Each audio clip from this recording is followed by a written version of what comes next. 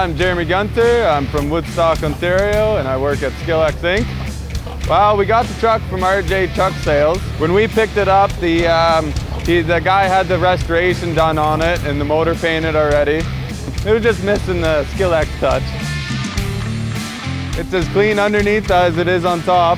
Engine's a 475 Cat 3406E. Chrome pipes on it. All the mud flaps are all stainless. Sits in storage, sits in the shop, and comes to a couple shows every year. My grandpa did most of it. He worked on it, and my dad owns it, and they put their two cents together and they built this. We'll start at the front. Uh, the bumper, it's all stainless on the back with lights in it. The um, air ride front end. Strapless breathers and cut top. 12 gauge boxes and um, the running boards on it. We're all on it when we got it.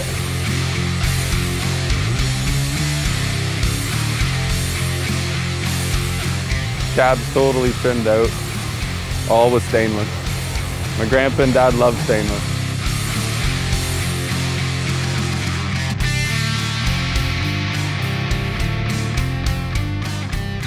On the interior, we got a bunch of stainless cut and put on.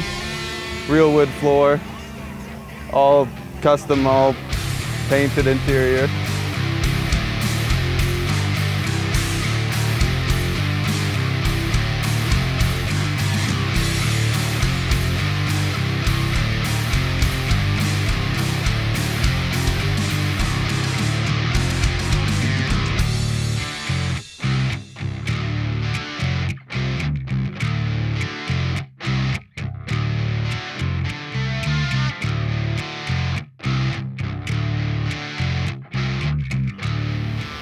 Well, we got a 12 gauge shock box cover.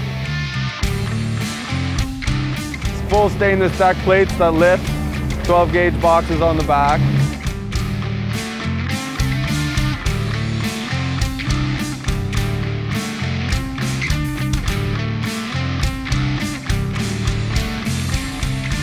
In the side box, as you can see, we got the wood floor in there too.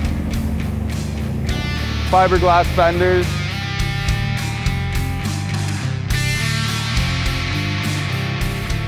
On the back end, my grandpa designed this. We got it all cut, fully stainless, custom light bar, again with full stainless mud flaps.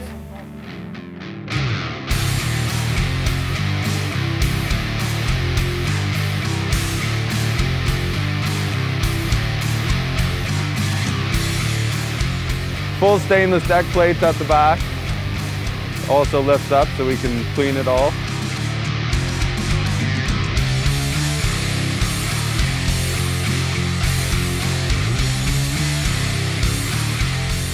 Just a couple shows a year around here in Ontario. Sparta and uh, Woodstock.